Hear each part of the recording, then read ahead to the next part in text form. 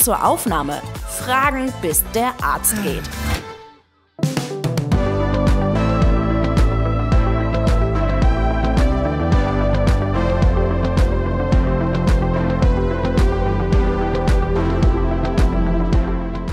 Ich bin hier heute im Diakovere Anna Stift und wir sind mit unserem Team erstmals bei einem orthopädischen Eingriff dabei.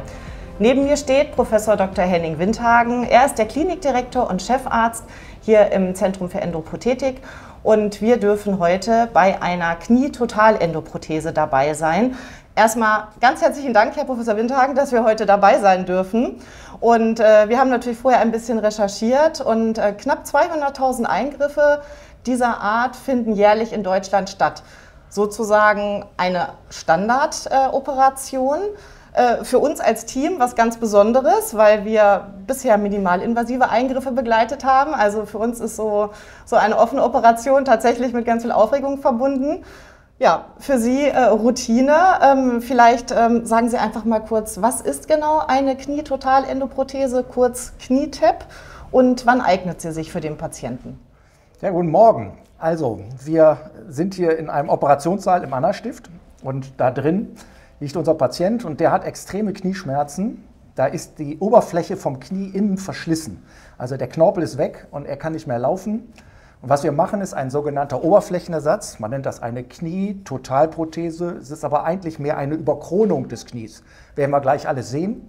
Und das wird, wie gesagt, ja sehr häufig in Deutschland gemacht, weil viele Patienten Arthrose haben. Bei uns, wir sind eine Spezialklinik für solche Eingriffe, da wird das natürlich jetzt sehr häufig gemacht und wir werden gleich sehen, wie es geht, weil wir machen das sehr individuell. Das heißt, das wird an den Patienten angepasst und wir arbeiten mit einem Roboter, um das höchst präzise zu machen und das zeigen wir gleich alles. Sie haben ja gerade das Stichwort Arthrose genannt. Das ist also sozusagen so also die Hauptursache, mit der die Patienten zu Ihnen kommen oder welche Beschwerden können sonst noch vorliegen, dass sich so ein Eingriff eignet? Ja, also die Knieprothesen werden bei Arthrose eingesetzt, aber die Ursache für Arthrose kann verschiedene Dinge sein. Das kann ganz normaler Verschleiß sein, das kann auch durch Unfälle sein, das kann auch durch Knochenerkrankungen kommen, aber das häufigste ist einfach Verschleiß durch sozusagen langjährige Nutzung des Knies. Mhm. Und wann würden Sie konkret so einen Eingriff in Betracht ziehen? Also auch wenn es Standard ist, ist es natürlich schon ein Eingriff und auch kein kleiner. Und wann eher nicht?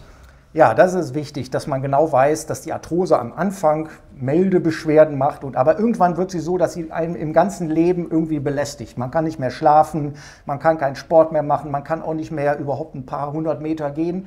Und wenn man dieses Stadium erreicht hat und wenn vor allen Dingen keine Spritzen und keine Schmerzmittel und kein Physiotherapeut mehr hilft, dann ist das die optimale Maßnahme, um wieder ein normales Leben führen zu können. Ja, Sie sind bereit und in den Startlöchern, wenn wir hier durchgucken, das gesamte OP-Team auch. Ich würde sagen, da wir gehen, wir rein, rein und wir begleiten Sie. Auf geht's. Guten Morgen zusammen. So, was wir jetzt hier sehen, das ist ein Setting in einem Operationssaal und das ist ja hochspeziell. Wir sehen Profis, die einen Roboter bedienen. Wir haben das Team mit den Assistenten und den Instrumentierenden und wir haben unseren Patienten, alles ist hochsteril abgedeckt. Äh, man sieht da hinten auch schon den Roboter, man sieht die ganze Technik, man sieht hier die Prothesen, die als sozusagen als Probe eingesetzt werden. Und wir gehen da jetzt erstmal ran und werden uns zum Knie so langsam bewegen und werden das mal präparieren. Und dann werden Sie sehen, wie das Ganze geht mit der Kalibrierung und wie der Roboter dann sozusagen unsere Planung da reinfräst. Und wie wir die Planung machen, das zeigen wir gleich auch noch am Computer. Ja? Dann legen wir los. Gut. So, also eine Besonderheit der Roboterchirurgie ist, dass man eine Verbindung vom Patienten zum Roboter schaffen muss. Und das wird über sogenannte Sensoren gemacht, die wir hier einsetzen, mhm. weil der Roboter muss ja irgendwo erkennen, wo das Skelett ist. Und das wird über diese Mechanik gemacht, die wir jetzt hier zeigen. Was haben Sie da jetzt eingesetzt? Da, wir, da setzen wir einen Pin. Und ich zeige Ihnen gleich, da kommt so ein Sensor drauf. Der Roboter hat nämlich eine Kamera und die Kamera wird gleich eine von diesen Sensoren erkennen. Und dadurch ist sozusagen die Verbindung zwischen dem Patienten und dem Computer geschaffen. Und das machen wir jetzt hier gerade.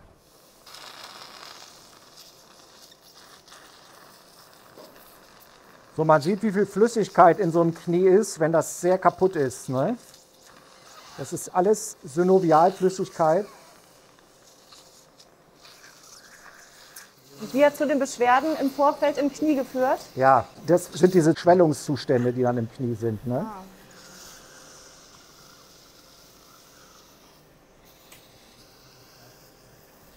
So, was man jetzt hier sieht, das ist wie der Knorpel völlig abgeschliffen ist.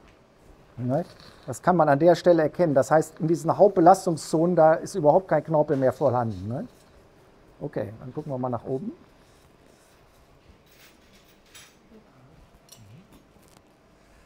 So, dann machen wir den Markierungspunkt.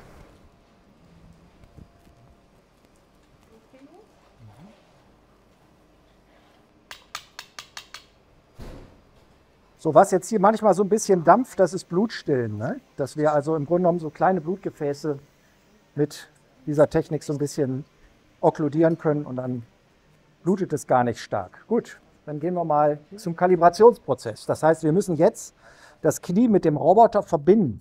Und das geht über die Kamera, die die Sensoren sieht. Dann fangen wir an, das Knie sozusagen einzulesen. So muss man sich das vorstellen. Ne? So, Sie sehen jetzt jede Menge Punkte auf dem Bildschirm und die müssen mit dem, sozusagen mit dem, dem Knochen und der Oberfläche gematcht werden. Und das machen wir jetzt durch diesen Einleseprozess. Und unser System hat ja ein Modell des Knochens und das matcht jetzt diese beiden Verhältnisse, um genau zu wissen, wo was am Körper ist. Also das Ziel des Ganzen ist jetzt, dass wir im Grunde genommen den Knochen und die Oberflächen so in den Computer einlesen und dass der dann zusammen mit dem Computertomogramm, was er hat, ein genaues Modell vom Patienten erstellen kann, und dann können wir die ganze Operation am Computer planen und hinterher dann nur noch übersetzen. Eine Knieprothese, eine TEP, das ist ja nicht, dass man das Knie rausnimmt und was dazwischen macht. Das gibt es auch für sehr komplizierte Fälle. Aber in solchen Fällen, wo nur die Oberfläche zerstört ist, da macht man eine Art Plombe. So muss man sich das vorstellen. Das ist ein 8 mm Metallstück aus sehr hartem Metall. Und das wird im Grunde genommen wie eine Überkronung auf das Knie gesetzt. Und die Position, die ist dafür entscheidend und das Gelenkspiel, damit man hinterher ein perfekt funktionierendes Knie hat. Und das ist Höchstpräzision, weil da kommt es auf einen Millimeter an. Und dafür haben wir diese Maschine, damit wir das jetzt perfekt platzieren können. Und dieser Prozess ist jetzt der nächste. Und da können wir schon dran sehen, was alles an dem Knie nicht so stimmt und zeigen, wie in jeder Ebene sich das Knie verhält. Und Sie sehen mit Grün und Blau schon die beiden Komponenten, die wir da jetzt einbauen. Und dann schauen wir nochmal, wie es jetzt so funktioniert. Ja, so wird es doch da mal werden. Ne? So, was wir jetzt machen, das ist, dass wir im Grunde genommen am Computer den Fall lösen. Das heißt, wir stellen jetzt die Position der Prothese so ein, dass die ganzen Balancierungsparameter stimmen. Das heißt, das Gelenkspiel, das wird jetzt anhand dieser Zahlen eingestellt. Ne? Gehen wir doch die Tibia noch eine hoch. 18, 18, 17, 18 ist doch wunderbar. Das würde ich nicht eng, Nee. Wird eigentlich im Vorfeld der OP eine Justierung auch schon sozusagen es gibt eine Theorie Grobplanung, angelegt? Es ja. gibt eine Grobplanung, dann weiß man die Größen und alles. Ja. Und jetzt kommt anhand des, Be des, des Gelenkspiels, was ich jetzt abgenommen habe, ja. kommt die Feinplanung. Weil Sie das ja erst jetzt eigentlich sehen, genau. wenn Sie das äh, vor sich haben. Genau. Und ist das dann sehr abweichend zu dem, was Sie im Vorfeld schon vermessen haben? So zwischen 1 und 2 Grad. So, solche okay. kleinen Dimensionen sind okay. das. Und hier ist jetzt aber tatsächlich, wenn Sie dann äh, von den äh, 17 oder 19 sprechen, so ein Millimeter wirklich entscheidend, der entscheidend. ganz präzise Das, das macht es aus zwischen, weil das Knie darf nicht zu steif sein ja. und nicht zu locker. Es muss genau dazwischen sein. Und da fragt man sich dann auch immer, wie man das ohne Roboter hinkriegt. Ne? Seit wie vielen Jahren wird denn diese robotergestützte Technik äh, im OP Also wir machen das schon jetzt seit sechs, sieben Jahren. Okay. Wir sind mit die Ersten gewesen in, in, Deutschland, die es gemacht haben und haben das auch so ein bisschen mitentwickelt und das ist jetzt schon sehr in der Routine angekommen. So, was man also hier sieht, das sieht tatsächlich aus wie so ein Roboter und an dem ist eine bewegliche Säge hier. Und die hat ein sehr, sehr dickes Sägeblatt, viel dicker als man das sonst kennt. Und damit die nicht so schlägt, ist die eben an diesem Roboterarm aufgehängt.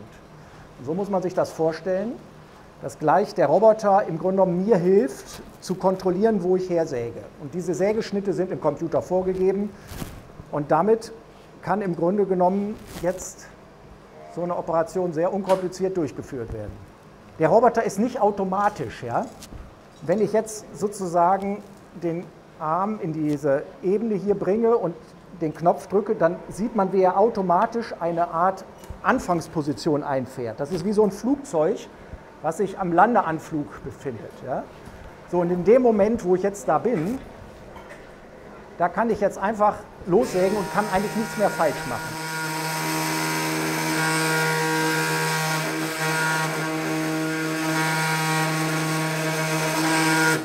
So, und man sieht, ich, ich kann jetzt relativ einfach und ohne große Sorgen das Ganze absägen und habe aber immer noch die eigene Kontrolle. Das heißt, wenn mir irgendwas auffällt, was der Roboter nicht machen soll, dann kann ich anhalten. Das ist der Unterschied zwischen einem automatischen Roboter. Ne? Wenn man auf den Bildschirm guckt, da sieht man so eine grüne Linie. Ich kann gar nicht außerhalb dieser Linie sägen, da hält er automatisch an. Das heißt, er gibt mir automatisch vor, was ich jetzt so zu tun habe. Ne? Aber es ist sehr sicher, weil ich meine eigene Kontrolle habe und den Roboter.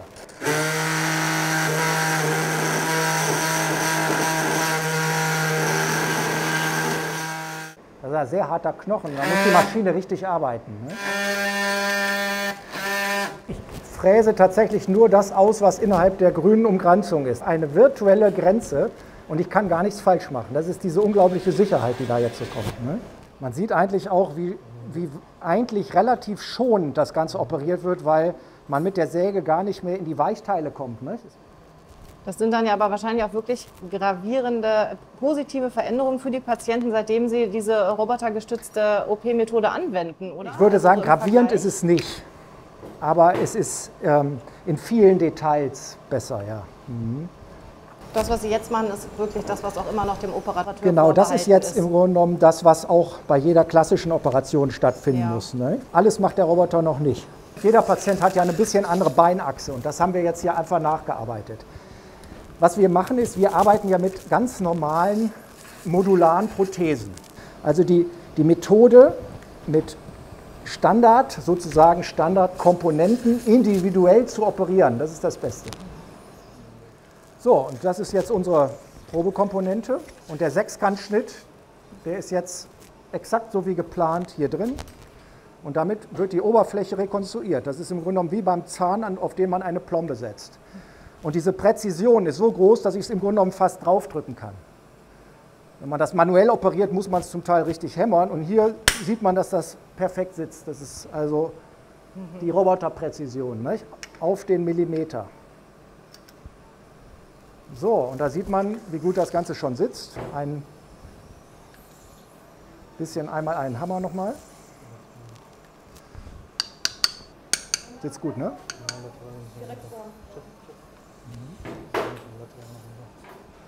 So, und jetzt ist das, was wir auf dem Bildschirm sehen, ist im Grunde genommen jetzt hier drin. Und jetzt können wir genau testen, ob das alles so stimmt. Und auf einmal ist wie durch Magie das Knie gerade, ist es, hat genau diese richtige Laxität, so ein, zwei Millimeter. Und was man jetzt sieht, er hat also, er hatte ein starkes O-Bein und hat einen Hauch behalten, weil das seine natürliche Form einer Beinachse ist.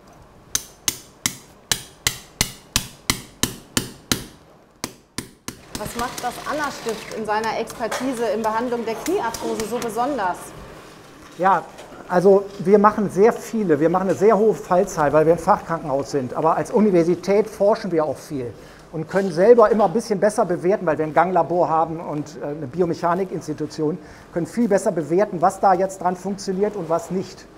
Es ist ja nicht so, dass automatisch immer alles, was man so bekommt, das Perfekte ist von der Industrie. Man muss das schon bewerten.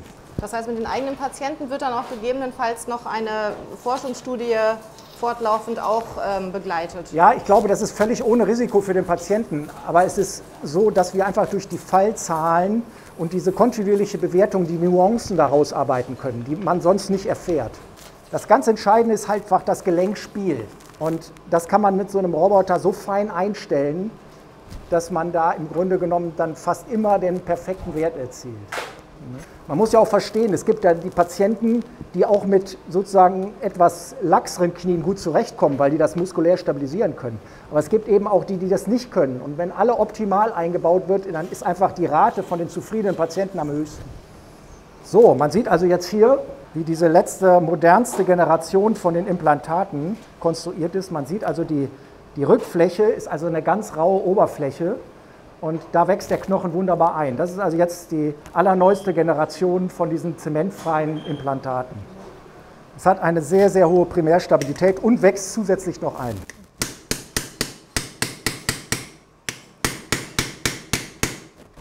So, am Femur sieht man das auch. Das ist aus ganz hartem Chrom-Kobalt und man sieht dann diese kalzifizierte Hinterfläche. Da ist richtig Calcium aufgesprayt, damit der Knochen gut anwächst. Kann es denn trotzdem zu Abstoßungsreaktionen kommen? Also Abstoßungsreaktionen in dem Sinne gibt es eigentlich nicht so. Es gibt manchmal Allergien. Ähm, da haben wir dann noch Prothesen, diese Prothesen, die mit einem Überzug sind aus Titan. Aber es ist schon besser, wenn man die Prothesen hat, die ohne diesen Überzug sind, weil das dann das härtere Material ist. Muss sich denn der Patient eigentlich nach so einem Eingriff sehr schonen oder wie schnell? Der steht heute auf. Der steht heute noch der auf? Der steht heute Nachmittag auf und läuft seine ersten Schritte. Ja. Okay. Mhm. Und der ist auch nur ein, zwei Tage bei uns. Und dann geht schon in die Reha. Und wie schnell kann er das dann alles wieder so belasten oder auch Dinge machen, die vorher gar nicht mehr möglich waren? Also nach vier Wochen fährt er Auto. An Gehstützen geht er auch so drei, vier Wochen, darf aber gleich voll belasten, aber damit man so die Balance hat. Die Wunden und die Narben brauchen so drei, vier Wochen, zwei bis vier Wochen. Und nach sechs Wochen fängt das Krafttraining an. Ne? So, das hat sehr gut geklappt. Ja. Also das ist eigentlich genau, wie man sich das vorstellt, dass das Gelenkspiel, wie es früher bei den Patienten mal war, dass man das so rekonstruieren konnte. Da musste man so ein bisschen die Kapsel medial noch lösen, aber insgesamt hat er jetzt exakt das Bein, was er so vor 30 Jahren mal gehabt hat. Ist das eigentlich was, was bei dem anderen Bein theoretisch auch gemacht werden sollte, um so, eine, so einen Gleichklang herzustellen? Oder reicht es dann auch wirklich an dem einen Knie? Nee, man versucht im Grunde genommen das Knie, was operiert wird, wieder auf den früheren Zustand zu bringen. Der Mensch kann schon eine Menge kompensieren. Das merkt man ja, wenn die Patienten dann obeiniger werden. Das geht ja schon recht lange. Aber es kommt einfach auf die Gewebsspannung an und die Bänder sollen ja nicht verändert werden. Und man möchte die Bänder auch nicht durchschneiden, weil dann hat man ja noch mehr Verletzung und dann tut es dem Patienten noch mehr weh. Und das alles so hinzubekommen. Ja, also ich muss sagen, wirklich spannend, spannend und wirklich ein ganz besonderer äh, Tag auch für uns, dass wir das hier so begleiten durften. Und wenn man das so beobachtet, wie martialisch das äh, vom, vom Laienauge zugeht und mit wahrem Handwerk und man dann aber sieht, wie schnell dieser Patient sich ja auch im Nachgang erholt und wirklich wieder Lebensqualität hat. Also das ist ganz toll. Hohen Respekt aber vor Sie, dieser Arbeit an Sie. Aber Sie merken ja auch, wie ruhig das geht, wie alles ja. funktioniert. Ja, tolles und das, Team. Sind, das ist ein tolles Team und das ist eine Technik, die wir sehr äh, stabilisiert haben. Das ist alles noch viel komplizierter, wenn man damit erstmal anfängt. Mhm. Das kommt jetzt gar nicht so raus, wie viele kleine Schritte und jeder von den den Helfern und den Assistenzen und Instrumentierenden, die, die wissen alle genau, was sie tun, reichen das richtige Instrument. Und wenn das nicht so ist, dann können Sie sich nicht vorstellen, ja. wie anders so eine Operation läuft. Ja, ja, wenn man das jeden Tag eine nach dem anderen macht, dann ist da so eine Routine in so einem Operationssaal und so eine Ruhe und so eine Präzision. Das ist nicht nur automatisch, indem man sich die Maschinen irgendwo hinstellt. Ne? Nee, das hat man auch gesehen. Also, Vielen lieben Dank. Gut. Die nächste OP wartet schon auf Sie, deswegen wollen wir Sie gar nicht lange aufhalten. Dann sehen wir uns gleich nochmal. Danke Ihnen. Gut.